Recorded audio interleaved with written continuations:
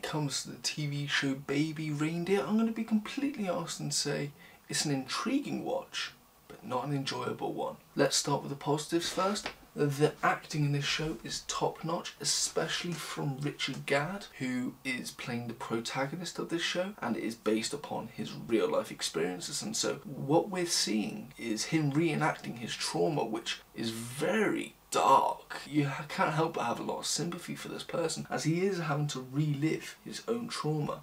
And it's very few actors we see and creators to do that. And so hats off to him. And on the other side we see his antagonistic co-star Jessica Gunning doing a fantastic performance as playing this very unhinged character. She did an impeccable job. When it comes to the writing of the show, it is really fucking good to the point that we can break down a particular character and their flaws in the very first episode. Whilst I truly couldn't enjoy the protagonist, the other side characters that we get I really did enjoy, whether that being Teri, who is his current partner at the time, his ex-girlfriend Keely, and her mother Liz. I really enjoyed these people because they're sympathetic characters and they just want nothing but the best for Donnie.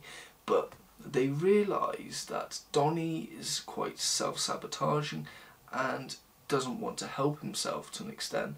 And so they're caught in a situation where how can they help this man if he won't help himself? And it's a challenge they're not prepared for. And so they do have to make a self-sacrifice for their own peace of mind. And so they're not caught in his situation. They have to push him out of their lives. And it's not like they find it easy to do. They do find it quite difficult especially Teri and especially Liz as they do care for Donnie. But they know that he's not going to be able to fix his situation and this is the only way they can fix it for themselves. It's slightly selfish, but at the same time, Donnie is also being selfish. Now, the plot of the show was very dark. It's very hooking at the same time. I describe it as like a car crash can't help but look, but you do hope that everyone comes out with minimal damage. The tone of this show is very horror-like, especially when we have Donnie and Martha in a room together. The tension, you're so on the edge of your seat just praying that Donnie is able to get out of this situation unscathed and not get trapped in Martha's web. The show also has a lot of humour and it's a mixed bag in my eyes as there are a lot of moments which really do make you laugh out loud but at the same time the protagonist it does a lot of this cringe comedy. It's really annoying to watch, it's quite unbearable at times. Throughout the show there are a lot of themes to notice. The main three I did was stalking, which is the biggest one of all. We see this through the character of Martha and what starts off as, I would describe as lightly, is showing up to his place of work, continuously making it a routine pattern, but then it progresses in a worse state where she finds him on social social media and begins to follow and like every single photo of his. Even doesn't matter how far back it goes, she will like it and even leave comments underneath discussing his looks and so forth. And even going to comment on photos where he is with other people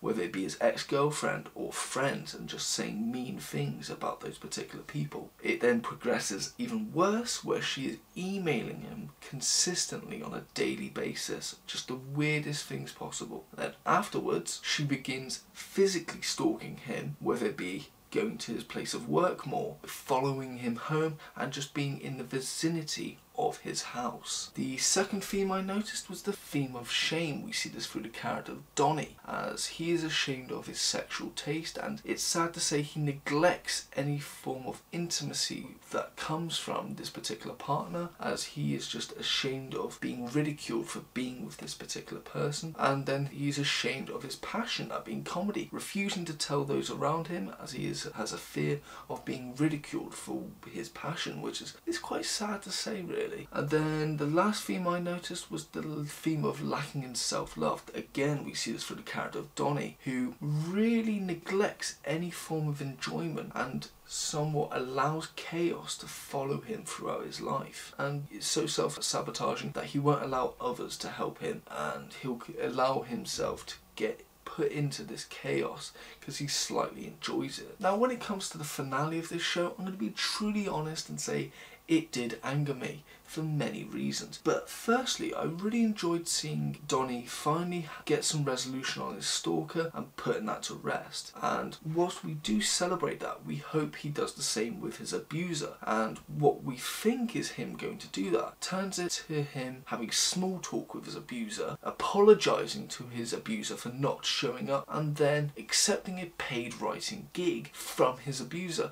And it just angered me so much as I thought we were seeing this character progress. He was improving, he was changing, but if anything, he was digressing. It's just really such a sad state to see. And then the cherry on top of this shit sandwich is throughout the episode, we're seeing him listening to Martha as what started off as him trying to gather evidence for the police to finally take action is now him being obsessive over her and trying to learn about her. He somewhat becomes sympathetic to her, but then they try and make the audience sympathetic to her as well which I just found very disturbed. And then they do the reversal of what happened at the very beginning with Donnie taking pity on Martha, is someone taking pity on him, somewhat saying the cycle continues or that anyone could be put in this particular situation, which I, I just I think was a step in the wrong direction for me personally. Now, when it comes to critiques of this show, I have my fair collection. Firstly, this is the first time I've ever watched a show where I felt visibly angry towards a protagonist, as it just felt so unrealistic that someone would allow their boundaries to be crossed time and time again and not even confront this particular person about it. Secondly, I really struggled to sympathise with the protagonist of this show, as for the most part, he has put himself in these situations, which is really horrible to say, as obviously this is based on true events, that being of Richard Gadd's life story and I do sympathise with what happened but at the same time he was so self-sabotaging to the point it was unbearable and he was even putting people he was close to in harm as well and did very little to actually help them. My third critique is how I felt they borderline tried to make us the audience sympathise with the stalker. Now whilst yes there's definitely mental health at play with Martha, possible erotomania, she is still a serious stalker and it's really annoying watching this as we can see there are many attempts where Donnie could have this woman arrested and be put out of his life, but because he enjoys the drama, because he enjoys the affection he gets, which he openly admits, he allows this woman to continue this manifestation and it goes past him towards family and friends. And it's really fucked up that he allows this to build.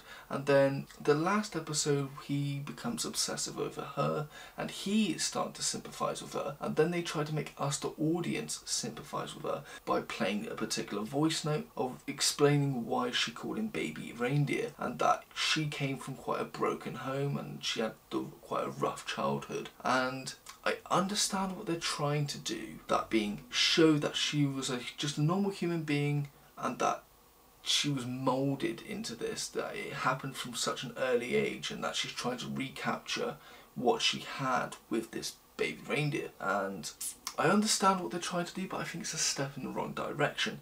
As you can definitely sympathise with her as a person but at the same time it, it felt like they were trying to excuse her actions which I think is really borderline bad as yes you can acknowledge someone is mentally unwell but you can also acknowledge the fact that what they're doing is very dangerous I think that what they were doing was a, a step in the wrong direction for me personally. My fourth criticism, my final one, is how they try to represent the police as being very unhelpful as for the most part it was Donnie holding back so much that could actually help the police pursue this case and for occasional moments the police are definitely in the wrong. But at the same time, the majority of the time I'm on their side as because of Donnie's lack of courage, they can't make a case to pursue Martha and lock her up. And because of his lack of courage, people are being hurt, that being in his life. And so, as much as you want to blame the police for their lack of help, it's also Donnie as well. Overall, whilst the show is hooking, it has got great acting and writing, I do feel that it's a very frustrating show to watch, especially with a protagonist like Donnie, who just seems to enjoy having his life in turmoil and, and enjoys the drama. And it seems like he doesn't even enjoy the good things that approach him in life. And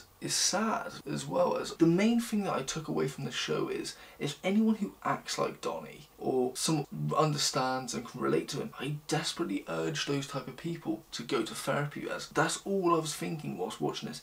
This man needs to go to therapy. He needs to talk to someone about why he feels like this. So is this show good? Slightly. Yeah, that's the nicest I can be with it. Rating wise, I actually can't rate it. I just, I really can't think of a number. But would I rewatch this? That is a simple answer and that is fuck no. I understand it's a very intriguing story. I think if you have not watched it, maybe like what just watch it once in your life. It's not something I'd say to people to watch again and again and again. It definitely has not got replay value in my eyes. It was definitely hard to start and it was not the greatest way to finish as well personally speaking. But when it comes to recommendations, I definitely would say Pete Davidson's latest Netflix special talks about stalking. He has a stalker encounter, and whilst it doesn't dive into the depravity, it, it, it's not as disturbed as what Richard Gadd went through, it's definitely still in the comedic element. It's very funny. Next, uh, from the stalker's perspective, I would recommend the TV show You, where they purposely, in a dark, twisted way, try to make us sympathise with the protagonist protagonist of the show as the show begins. And it's I think that's a clever, disturbed way of making us go into the stalker level compared to how they did it in this. And then thirdly, I recommend the TV show Beef as it is about these two characters whose lives aren't particularly interesting, but one encounter adds an exciting edge to it and you just see these characters try and one up each other and it they dive into their worst depravities. Those are my recommendations. This has been my review for the TV show Baby Reindeer. Thank you for watching. If you have enjoyed, please like and subscribe. But most importantly, thank you and have a nice day.